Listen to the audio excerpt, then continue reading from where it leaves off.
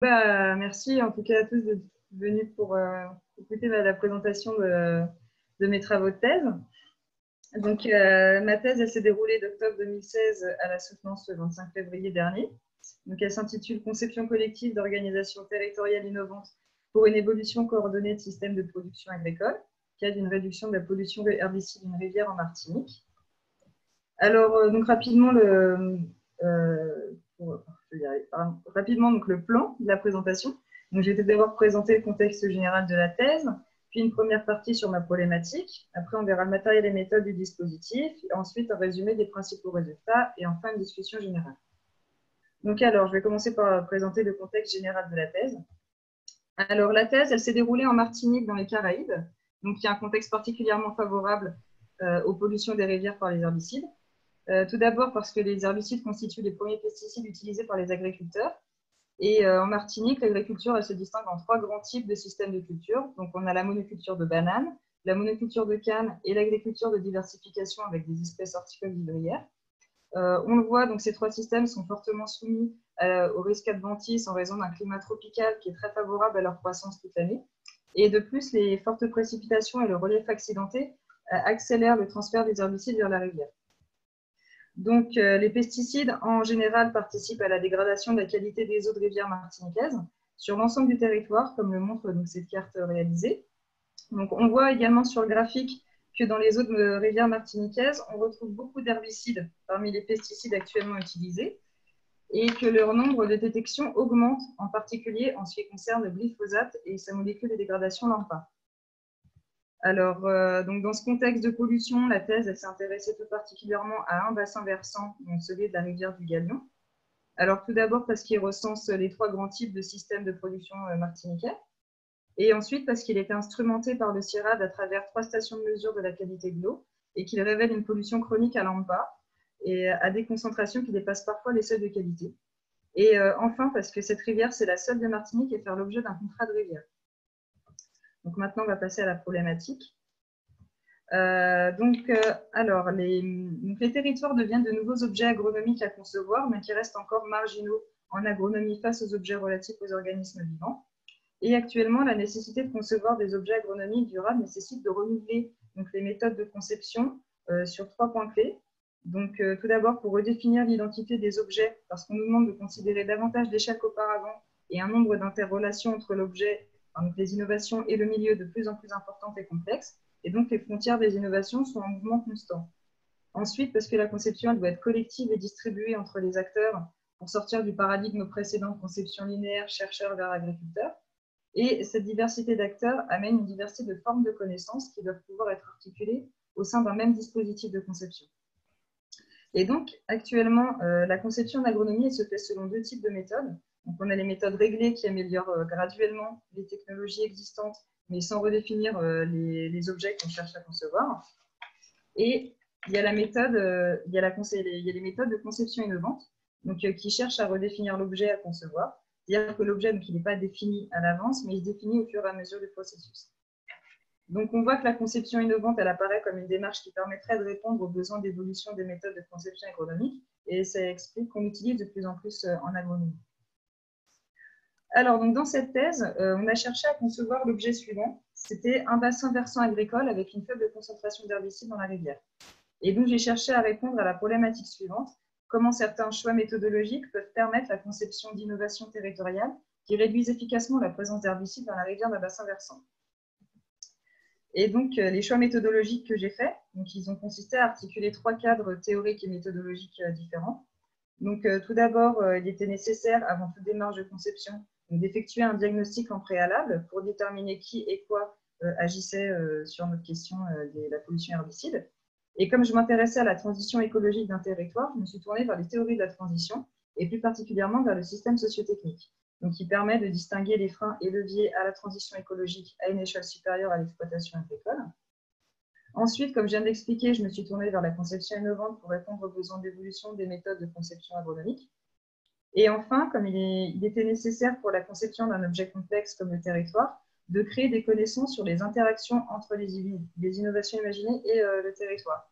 Et comme la conception d'un objet continue dans l'usage, j'ai choisi de recueillir ces connaissances via un usage simulé des innovations à travers un jeu sérieux. Donc, euh, alors, euh, donc, tout d'abord, le système sociotechnique. Donc, c'est un concept en fait qui cherche à expliquer les freins et leviers à l'innovation en s'aidant d'une représentation conceptuelle du système étudié sur trois niveaux. Donc, on a les niches dans lesquelles évoluent les innovations originales. Euh, on a ensuite le régime dans lequel s'effectue la production majoritaire, donc tout ce qui est grande filière agricole, par exemple, et le paysage qui représente le contexte sociopolitique. Et les verrous à l'innovation sont décrits selon les trois éléments qui composent chacun de ces niveaux et les relations entre ces niveaux, c'est-à-dire euh, les règles, les artefacts matériels et les acteurs. Et en plus de cela, donc cette méthode, elle permet de distinguer ce qu'on appelle les dépendances au chemin des acteurs de l'innovation, c'est-à-dire comment les choix d'innovation actuels sont dépendants des choix techniques et d'innovation passés.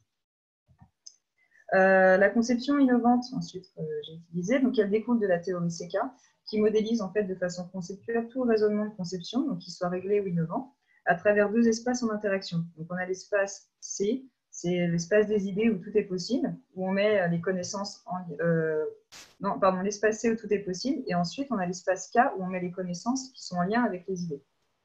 Euh, donc un graphe CK se construit de la façon suivante. Donc alors d'abord on met l'objet à concevoir ou concept C0, donc ici on va dire une tasse à café rigolote, et ensuite on approfondit. Donc, on approfondit le concept. Par exemple, ici, on va voir si la tasse à café sera munie d'anse ou non.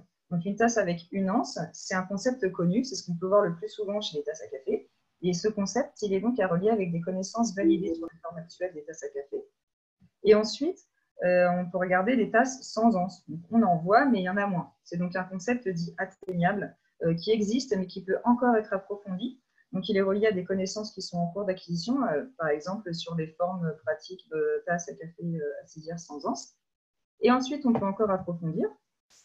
Et par exemple, ici, avec le nombre d'anses de la tasse à café, donc le plus connu étant une tasse à café avec une anse. Quelque chose qui se fait moins mais qui se voit, c'est une tasse avec deux anses. Mais c'est quelque chose, un concept qui est dit en rupture. Ici, ce serait une tasse avec trois anses. En fait, ça peut paraître loufoque parce que c'est radicalement différent de ce qu'on voit d'habitude.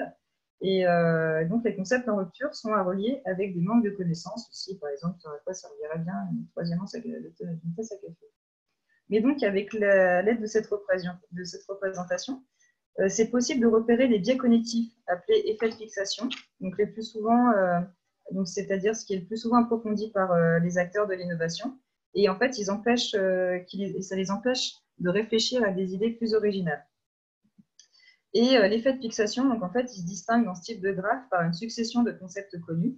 Ici, ce qui se fait le plus, c'est donc une tasse à café avec une anse. Et euh, donc, ce qui est en rupture avec ces effets de fixation, euh, c'est ici une tasse à café avec trois anses, par exemple. Donc ensuite, la pollution d'une rivière, elle relève, donc, on va dire, de manque de coordination ou de conflit dans la gestion d'une ressource commune ou d'un bien commun, selon Elinor Ostrom. Et ces problèmes de gestion, ils peuvent être décrits à travers le modèle conceptuel suivant qu'elle avait décrit, c'est-à-dire d'une part les acteurs qui interagissent entre eux, et d'autre part un espace physique où ont lieu ces interactions sociales, mais euh, aussi écologiques. Et donc ce modèle, ce modèle en fait, j'ai choisi de le formaliser sous forme de jeu pour permettre aux acteurs de discuter de l'implémentation des innovations issues de la conception innovante en simulant leur utilisation dans une représentation simplifiée du bassin versant. Et donc, dans ma thèse, j'ai articulé les trois cadres théoriques de cette façon. Alors, donc d'abord, un diagnostic du système sociotechnique qui me permet de repérer les freins et leviers, mais surtout les dépendances au chemin, euh, qui m'ont ensuite permis de repérer les que j'ai associés en fait aux effets de fixation des acteurs. Et euh, donc voilà, ça m'a permis de. Voilà, c'est ça. Ensuite, ce diagnostic, il m'a aussi euh, apporté les éléments pour concevoir le système que j'allais ensuite représenter en jeu sérieux. Et euh, la conception innovante, elle fournit des innovations originales dont on va ensuite simuler la mise en place d'un jeu sérieux. Et donc enfin, en fait, euh, j'ai fait l'hypothèse dans, dans, cette thèse euh, qu'en articulant de cette façon les trois cadres théoriques et méthodologiques, on obtiendrait un bassin versant avec une faible concentration d'herbicides dans sa rivière. Mais j'ai aucune idée à l'avance de ce à quoi peut ressembler en fait, ce, bassin versant. Et donc, je souhaite le concevoir avec les acteurs et c'est tout l'intérêt et la difficulté de cette conception. Donc maintenant, on va passer plus précisément au matériel et méthode du dispositif. Alors, euh, euh, oui, en fait, je ne vois pas l'écran entier. Donc alors, le dispositif s'est déroulé donc, en quatre grandes étapes. Donc on a d'abord le diagnostic du système sociotechnique. Ensuite, j'ai fait une relecture de ce diagnostic à l'aide des outils de la théorie CK pour donner le point de départ de la conception. Ensuite, on a effectué avec les acteurs des ateliers de conception innovants pour imaginer de nouvelles solutions qui réduiraient donc la présence d'herbicides dans la rivière. Et enfin, on a simulé la mise en place de ces innovations dans un jeu sérieux. Alors, la première étape du diagnostic, elle a cherché à relever les freins et leviers à l'innovation de gestion d'enherbement sur les trois composants du système, donc à savoir les trois filières agricoles, les agriculteurs du bassin et le territoire du bassin. Donc pour cela, j'ai recueilli les données via des entretiens semi-directifs avec les acteurs et, euh, j'ai analysé les littératures grises et euh, j'ai mis en fait en lien les éléments du système sociotechnique et les dimensions du territoire pour réussir à, essayer d'adapter le concept du système sociotechnique à une échelle territoriale. Et donc ce diagnostic a donné lieu à, une publication. Ensuite, pour la deuxième étape du dispositif, j'ai replacé ces données dans un graphe CK afin de relever donc, les effets de fixation des acteurs et les voies d'exploration en rupture avec ces effets. Et euh, pour faire cet arbre-là, euh, j'ai commencé par faire les graphes pour chacune de ces filières euh, donc des trois filières, en observant comment elles avaient innové pour réduire l'utilisation d'herbicides. Et ensuite, j'ai établi le graphe CK qui me servirait de départ à la conception en prenant comme concept de départ l'objet à concevoir dans la thèse, c'est-à-dire le bassin versant du galion avec une faible concentration d'herbicides dans la rivière. Et j'ai construit le graphe à partir des éléments communs des, graphes, des trois graphes des filières. Euh, donc, ce qui m'a permis d'établir des effets de fixation communs à ces acteurs sur ce nouvel objet bassin versant, relié à une base de connaissances validée, et j'ai également pu établir donc, un chemin de conception en rupture qui serait intéressant ensuite d'investiguer, enfin que j'ai ensuite du coup trouvé intéressant d'investiguer avec les acteurs dans des ateliers de conception innovante, qui était donc la troisième étape. Euh, donc on a mené avec les acteurs des ateliers de conception innovante d'après une méthode adaptée euh, appelée euh, KCP, donc on a gardé les deux principales phases d'exploration d'idées nouvelles, de K et C, donc pour approfondir la branche de concept en rupture et apporter de nouvelles connaissances dans l'espace. Donc juste pour rappeler, voilà, la théorie CK et la méthode KCP, c'est pas la même chose, parce que euh, CK, KC, des se mélangent. Donc la théorie CK, c'est ce qui va modéliser les raisonnements. La méthode KCP, c'est ce qui va nous permettre euh, de faire des, d'explorer des idées nouvelles. Et nous, dans KCP, on n'a pas fait l'étape P, on a fait que l'étape K et C. Voilà. Euh, donc, euh, pour faire ça, j'ai organisé un premier atelier appelé Atelier K, euh, consistant à partager les connaissances entre l'ensemble des acteurs sur des sujets en lien avec notre problématique. Ensuite, cet atelier m'a fourni donc, des idées originales que j'ai souhaité approfondir avec les acteurs lors d'ateliers d'exploration d'idées ou, atelier C. Et les innovations qui ont émergé dans ces ateliers C m'ont ensuite permis de faire évoluer le graphe CK de départ pour voir si avec les acteurs, on avait réussi à explorer la voie en rupture pour la quatrième et dernière étape de dispositif, avec l'équipe de recherche qui m'accompagnait, on a réalisé un jeu sérieux. D'abord en établissant un modèle conceptuel du système du bassin du Galion, donc en établissant les ressources, acteurs, interactions et dynamiques en lien avec la pollution herbicide de notre rivière. Et ensuite, j'ai incorporé dans le jeu certaines innovations issues des ateliers précédents et on a réalisé un atelier avec les acteurs. Alors, parmi, donc, euh, dans ce jeu-là, euh, parmi les dynamiques en jeu, certaines dynamiques écologiques au centre de la problématique ont nécessité un support informatique. Et euh, ce support a été réalisé donc, par Charles Motte, encadrant principal de la thèse. Parce que pour ce jeu, on avait besoin que l'agriculteur, pour prendre ses décisions, il ait accès à certaines informations, à savoir l'état de la croissance de l'enherbement et des cultures de rente à la parcelle, l'état du rendement à l'échelle de l'exploitation et l'état de la pollution en temps réel. Et donc, c'est ce que le modèle informatique a permis de faire pendant le jeu. Alors, l'atelier de jeu s'est organisé de la façon suivante. Donc, on avait huit joueurs agriculteurs situés autour d'un plateau de jeu qui représentait le bassin versant du Galion de manière simplifiée, et un joueur gestionnaire de territoire qui disposait de subventions pour discuter avec les agriculteurs de la mise en place des innovations qu'ils choisissaient. Et donc, le modèle informatique était projeté de façon à être visible par l'ensemble des participants. Et euh, donc ici, euh, j'ai regroupé l'ensemble des acteurs qui sont intervenus au cours du processus. Tout le monde n'est pas intervenu à toutes les étapes, mais euh, dans les quatre étapes, voilà tous ceux qui sont intervenus. Donc on a des acteurs institutionnels de l'agriculture et de la qualité des eaux, des acteurs du monde agricole comme des agriculteurs du bassin, des organisations producteurs ou encore la recherche agronomique, et des acteurs intervenant en aval de la production dans la commercialisation et la transformation des denrées. Donc maintenant, on va passer aux résultats. Donc, en commençant par les résultats du diagnostic sociotechnique. Donc, alors, les principaux résultats du diagnostic montrent que les filières ont en commun d'avoir des chemins d'innovation en fonction des filières d'appartenance. Euh, en raison d'une recherche et développement qui est propre à chaque filière, euh, en raison du fait que ces filières elles soient structurées indépendamment les unes des autres avec peu d'acteurs euh, aux interfaces, et des dépendances au chemin qui sont propres aux filières en raison de, voilà, de, elles ont une histoire différente et donc elles ont des dépendances au chemin qui leur sont propres. Et les filières, elles ont également en commun le fait que l'échelle bassin versant n'intervient pas dans leur démarche d'innovation de gestion d'enherbement parce qu'ils innovent principalement à la parcelle ce qui implique que la sauvegarde de la qualité de l'eau de la rivière du Galion est un peu considérée, peu considérée en fait, dans les démarches d'innovation des filières. Ensuite, euh, on passe à la deuxième étape, donc il y a l'élaboration du euh, graphe CK ou du référentiel CK qui servira de point de départ à la conception. Donc, à l'issue du diagnostic, le référentiel, c'est le, le premier graphe CK qu'on appelle référentiel CK. Euh, du coup, il, il s'est élaboré autour de quatre partitions, donc c'est au niveau d'approfondissement des concepts en fait.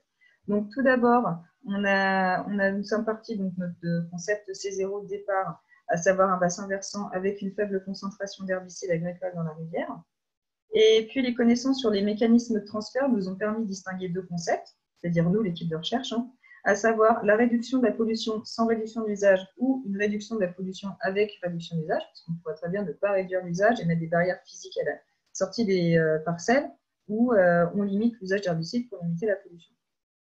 Ensuite, euh, l'évolution de la réglementation nous, a, nous a montré à l'équipe de recherche que la tendance actuelle était à la suppression de l'usage herbicide par l'interdiction de plus en plus de molécules herbicides, mais que les acteurs des filières, eux, cherchent plutôt à réduire qu'à interdire.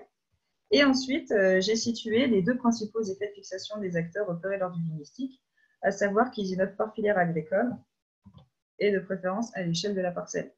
Donc, on a repéré une branche en rupture sur des innovations transfilières à l'échelle du territoire, c'est-à-dire que euh, la voie qu'on essaye, euh, qu'on a cherché à explorer avec les acteurs, visait à répondre au manque de connaissances suivant, c'est-à-dire quelles innovations à l'échelle du territoire permettraient, de façon transfilière, de réduire l'usage d'herbicides pour obtenir un bassin versant avec une faible concentration d'herbicides agricoles dans la rivière. Donc, on a fait des ateliers de pour explorer cette branche. Et on en est arrivé au résultat suivant. Donc, on a eu deux nouvelles partitions, à savoir donc euh, des mutualisations originales de la force de travail, de services, de ressources ou encore de connaissances entre les acteurs et entre les agriculteurs en particulier, et euh, des formes originales de valorisation des pratiques et du territoire. Et donc, les acteurs ont imaginé 15 innovations lors de ces ateliers de conception. Et grâce à ces innovations, on a également déduit de nouveaux critères d'évaluation sur l'objet versant, par exemple la libération de temps de travail. Euh, aux agriculteurs. Euh, alors maintenant, euh, je vais vous présenter les résultats de la simulation de certaines de ces innovations dans le jeu. Alors d'abord, voici les innovations que j'ai décidé d'incorporer au jeu. Donc elles représentent, toutes, euh, elles représentent tous les critères d'évaluation du bassin versant. Donc, quand j'ai effectué mon choix, il a fallu que je choisisse, je ne pouvais pas tout mettre, mais en tout cas, je les ai considérées de façon à ce qu'elles puissent toutes représenter les cinq nouveaux critères d'évaluation du bassin. Euh, donc, voici, donc euh, là, euh, donc on a d'abord laissé les joueurs. Ah oui, alors, on a fait une phase initiale où on a d'abord laissé les joueurs agriculteurs gérer leur enherbement sans concertation et sans innovation, avec une rivière sans pollution. Et lorsqu'un pic de pollution a été annoncé, les joueurs agriculteurs ont entamé une discussion entre eux et le joueur gestionnaire pour mettre en place ces innovations proposées. Donc, pour illustrer ces résultats, là, je vous montre ce qui s'est passé que lors de la première année de jeu, et euh, les joueurs agriculteurs ont choisi volontairement d'adhérer à certaines des innovations suivantes. Quand je dis à certaines, c'est-à-dire qu'ils n'ont pas tous adhéré à toutes les innovations hein, qu'ils ont choisies. Euh, donc, un bassin versant vitrine de bonne pratique avec une charte réduisant l'usage herbicide. Donc, de s'associer à plusieurs pour faire appel à un prestataire de services de débroussaillage à coût réduit. De diversifier leur activité à travers la participation à un circuit d'écotourisme. De s'associer individuellement à un éleveur itinérant ou encore de diversifier leur exploitation en implantant des vergers sous contrat avec une entreprise de jus de fruits locale. Et euh, donc, on voit que la, pollution a fortement baissé. On voit après le pic, en fait, euh, c'est vraiment descendu. Après le pic, en fait, c'est ce qui a été joué pendant la nouvelle année. Donc, on voit que c'est baissé drastiquement. Et on a ensuite analysé ces résultats bruts pour en distinguer donc, des leviers permettant de réduire collectivement la pollution de la rivière. Et donc, tout d'abord, selon les choix d'innovation des agriculteurs, faudrait pouvoir compenser soit la diminution de la main-d'œuvre euh, lors de la diversification de l'activité de la ferme, notamment, soit de la, des ressources. Parce que lorsque les acteurs privilégient la diminution d'herbicides à la conservation de leur rendement, c'est-à-dire qu'on avait des trop bons élèves qui euh, préféraient avoir trop d'herbe et qui, quitte à ce que ça abîme leur rendement, plutôt que de, des fois de, mettre de l'herbicide. voilà. Et on observe également des leviers transversaux au choix d'innovation des joueurs agriculteurs donc, à savoir que les situations jouées ne suffisent pas d'elles-mêmes à réduire la pollution et qu'il faut que les agriculteurs aient une réelle volonté de diminuer leurs usages pour qu'ils aillent encore plus loin que ce qu'on a pu essayer.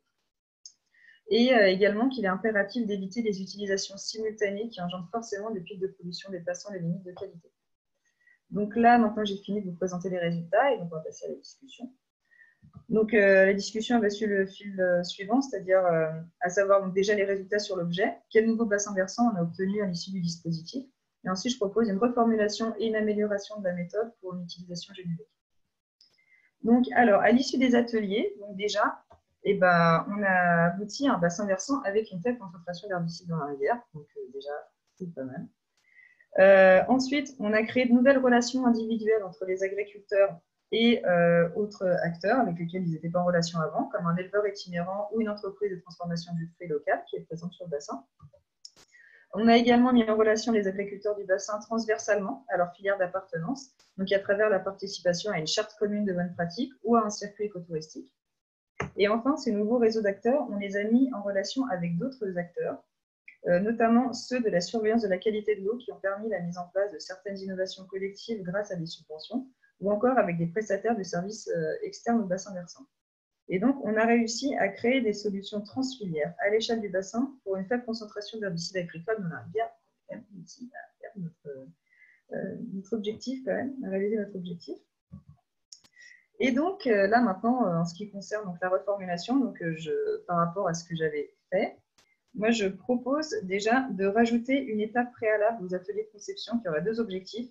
Donc, déjà de reformuler la question avec les acteurs pour que tout le monde se l'approprie, parce qu'en fait, on va pas. Normalement, c'est l'atelier K qui part. On a pu le faire un peu avec l'atelier K, mais on a senti que ça avait quand même manqué. On aurait peut-être dû le faire avant une session spécifique là-dessus. Euh, et aussi, surtout, pour que cette réunion puisse discuter de la disponibilité de participation des acteurs sur la totalité du processus. Donc, euh, déjà, pour que les acteurs puissent se positionner selon leurs objectifs et le temps qu'ils peuvent allouer au processus, déjà. Mais euh, aussi pour que les animateurs, nous, on s'adapte, en fait, on adapte notre dispositif en fonction des possibilités de mobilisation des acteurs. Il y a de la littérature qui, qui le mentionne également. Euh, ensuite, donc, euh, transversalement au dispositif, donc, il est nécessaire d'établir un dispositif où les acteurs se sentent légitimes de participer, où leur avis sera réellement considéré et non faire sentir aux acteurs que leur participation a surtout un rôle de consultation. Parce que la mobilisation des acteurs dépendra de la capacité de ce dispositif à considérer les acteurs comme légitimes. Il y a pas mal de littérature qui le mentionne aussi, et nous, on a pu s'en apercevoir.